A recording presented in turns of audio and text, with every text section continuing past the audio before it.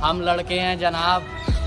चाहे हम लड़की को छेड़ें या लड़की हमें छेड़े, लोग हमें ही मारते हैं।